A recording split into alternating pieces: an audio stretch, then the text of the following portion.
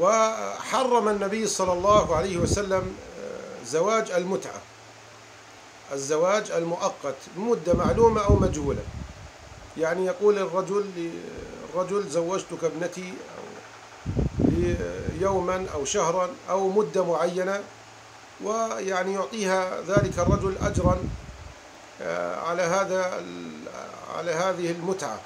سمي زواج المتعة لأن الرجل يستمتع بالمرأة وهي تستمتع بالرجل. ولا يقصد منه يعني إقام الأسرة الإسلامية وإنجاب الأولاد بل يقصد منه المتعة. وهذا كان يعني في الجاهلية من الأمور آه، المألوفة عندهم والمعمول بها كالخمر والقمار وإلى ما يتبع ذلك.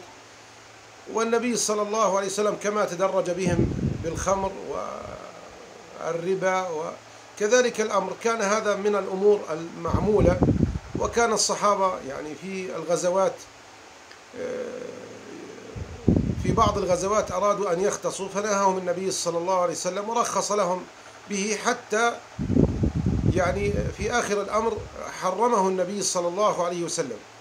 وكان ابن عباس يفتي بجوازه فلق فلقيه علي رضي الله عنه وقال له أنت امرؤ تائه. النبي صلى الله عليه وسلم في غزوة خيبر حرم آه، لحوم الحمر الأهلية ونكاح المتعة. فهو حرام إلى يوم القيامة.